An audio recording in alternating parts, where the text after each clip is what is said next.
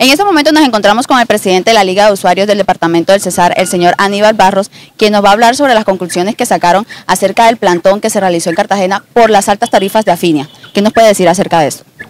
Bueno, el plantón fue un éxito en Cartagena, habida cuenta que hubo presencia de todas las ligas y de todos los frentes amplios por la defensa de los usuarios de los servicios públicos domiciliarios de todos los departamentos de la costa.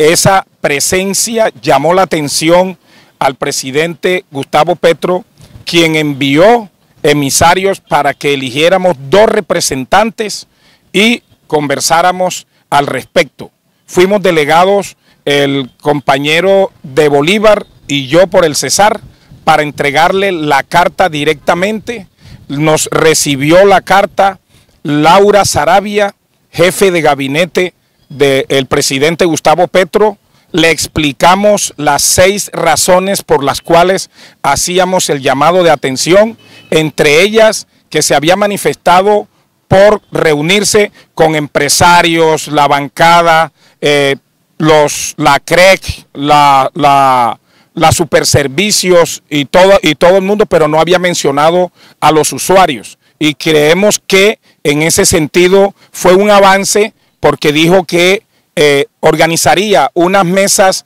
técnicas en todos los departamentos para profundizar la situación y que estudiarían las seis propuestas que creemos aliviaría hoy y para siempre la situación de todos los usuarios ante las altas tarifas, habida cuenta que estamos proponiendo inclusive de dónde saldrían los fondos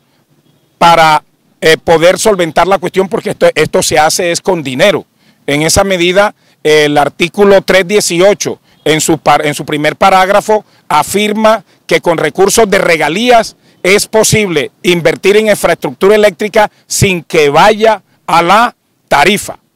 Lo demás es eh, consolidar la posición del Frente Amplio por la defensa de los usuarios eh, de servicios públicos domiciliarios en toda la costa caribe para eh,